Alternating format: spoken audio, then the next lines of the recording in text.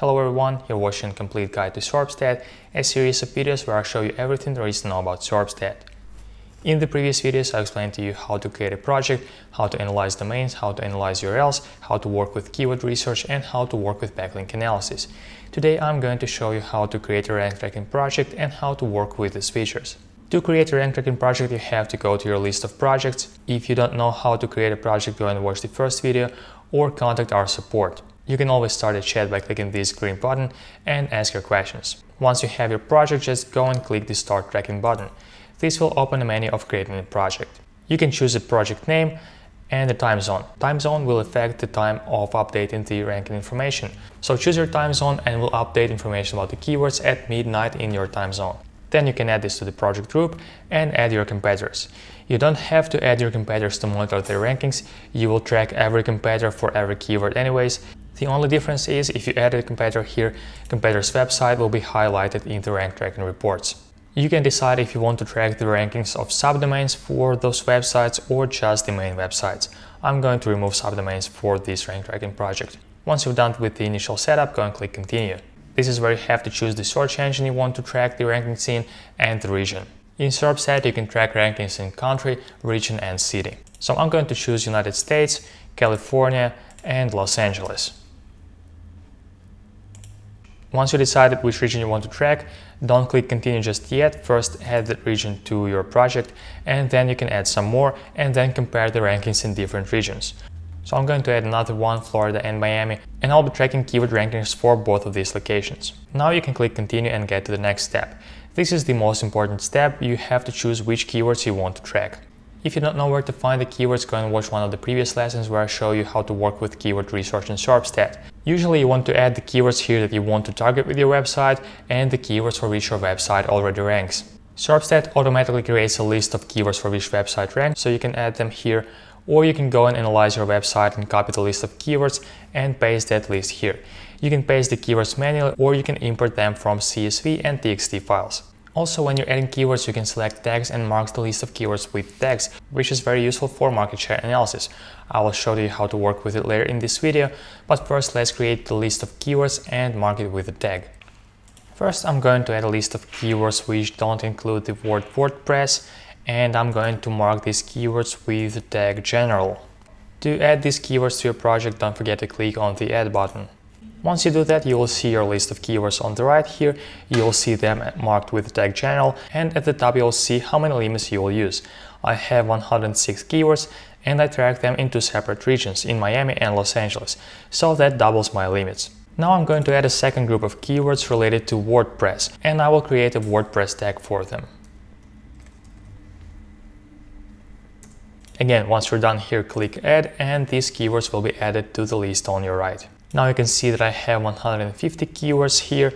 Some of them are marked with the WordPress tag and some of them are marked with the general tag. Once you're done adding keywords, go and click continue.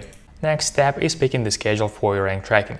You can track your positions daily, every 3 days or every 7 days, depending on your needs. I'm going to track these keywords daily. On the next step, you can share access to your project with your clients or your colleagues. You can add admins and users. If you decide to add someone, they will receive an invitation email and they'll be able to access the project. Admins can edit the project, add and remove keywords, and users can just browse the results of the rank tracking.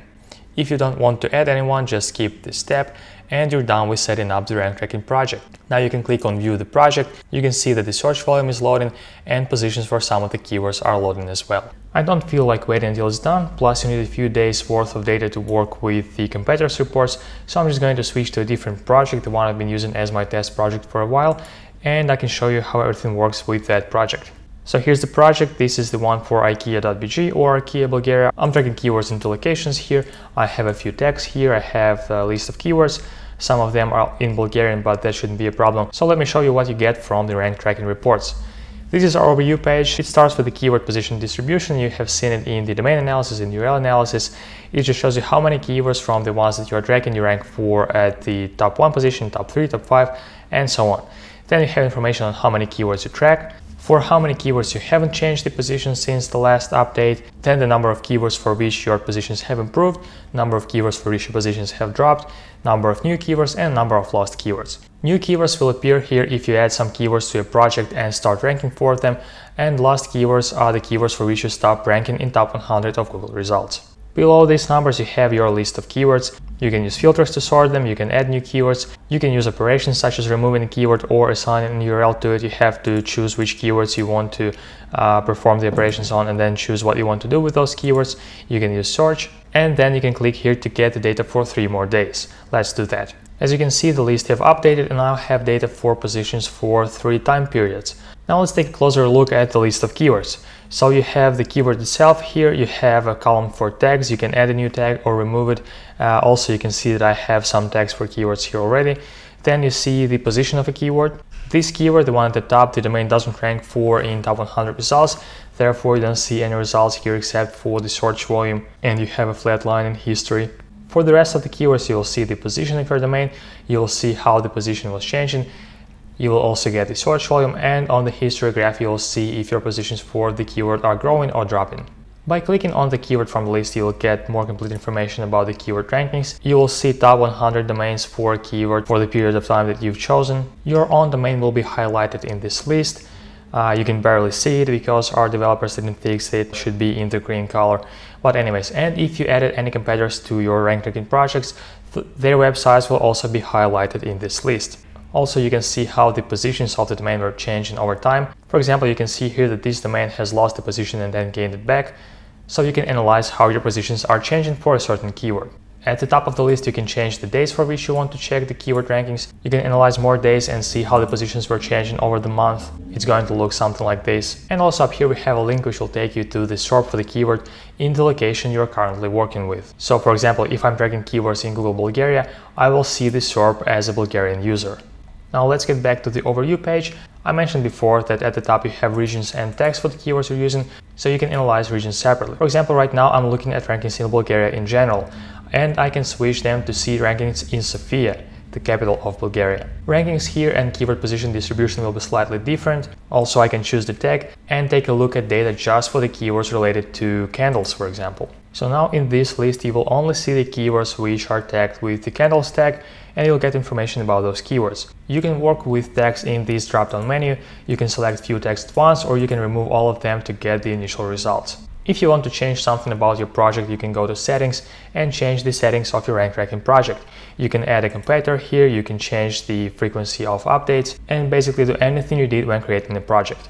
And about the settings button, you can see the limits for your rank tracking. You can see how many keywords you're currently tracking across all of your projects and how many keywords you can track. So that's all there is to show about the overview page for keyword positions. Let's go to the menu on the left and see what we have here. First feature is history. By the name, you probably have guessed that this is where you can see the results as they're changing over time. At the top, you see the keyword position distribution graph as it was changing, and then you have information about the keywords. All of positions are color coded here, so if you rank for a keyword at the first place, it will be dark green, second place, slightly lighter green, and so on. Anything beyond top 20 will be bright yellow, and if you lose a keyword, it will be in red color. Below the keyword position distribution history, you will see the keywords you are currently tracking and you will see the positions and how they're changing over time. At the top of the list, you can change the time frame for which you are tracking the positions. For example, you can see how the positions were changing in August. This is the information about the keywords for August. You can see that I don't have 31 positions here because in August I was tracking these keywords once every three days. Therefore, I have information for 1st, 4th, 7th, and so forth. You can export this report, you can change the settings of your rank tracking, you can see the same positions for Bulgaria. You can also use tags and see the keyword positions for a certain part of your website. There isn't much to tell about the history, this is just for you to browse how your project is changing over time. So let's move on to the competitors feature. This is my favorite one in rank tracking. First thing you will see as you open the competitors feature is the traffic share for the keywords or market share distribution. Let me explain what this means.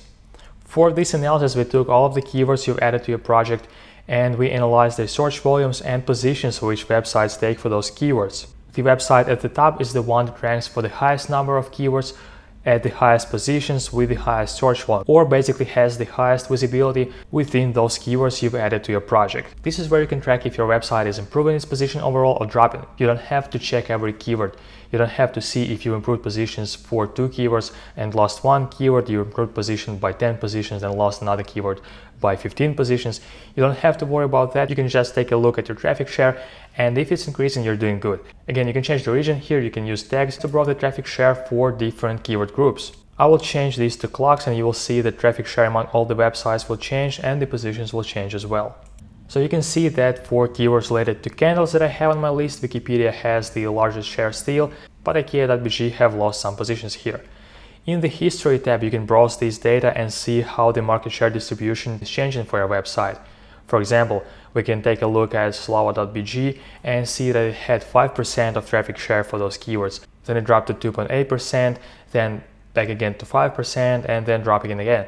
So what you want to see for a website is moving from the top to bottom. The ones at the bottom have the highest share of traffic for the keywords you're analyzing.